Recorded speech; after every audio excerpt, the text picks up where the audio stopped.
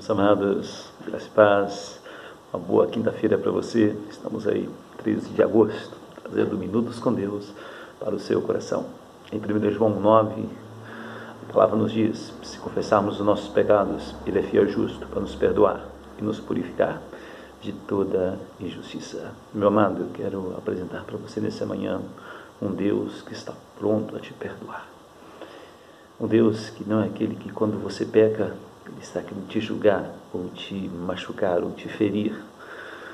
É um Deus que, no momento que você peca, Ele está pronto com os braços abertos te esperando, com as mãos estendidas para poder te levantar. Aquele Deus que vai ao encontro de você, aquele Deus que estende a tua a misericórdia dele através das mãos dele para te alcançar.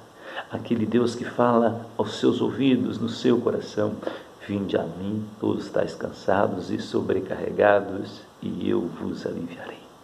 Confesse os seus pecados. Deus está pronto para te perdoar e te transformar em uma nova pessoa. Que Deus o abençoe. Volte-se para Deus, porque em Cristo Jesus você encontrará perdão e vida nova. Tenha um dia na presença de Deus. É isso que o pastor Danilo deseja do fundo do meu coração para a sua vida. Se gostar desse vídeo, compartilhe com seus amigos. Não esqueça de dar o like e de inscrever no nosso canal. Tenha um dia na presença do Senhor. Deus o abençoe.